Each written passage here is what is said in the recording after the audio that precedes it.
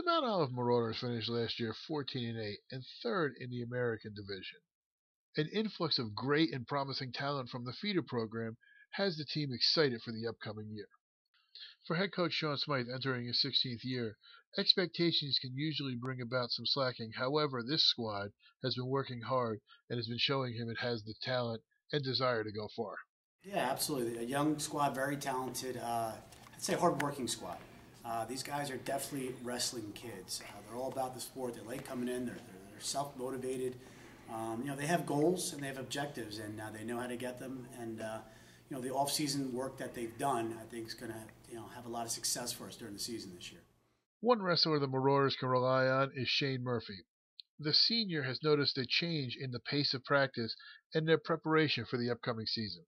Uh, we're really uh, working hard, practicing hard, uh, running every day. Um, the pace in the room is uh, set pretty high because we have uh, Coach Ryerson now. He's kind of changed the pace. We're moving a lot harder. The Mount Olive Marauders are a very good team, and I expect them to be successful on the mat. With a nice influx of youth from the feeder program that should continue for the next few years, I see this as a program that's going to be scary good over the next few seasons. I think this team will be very successful this year, finish above 500, and qualify for the state sectional tournament.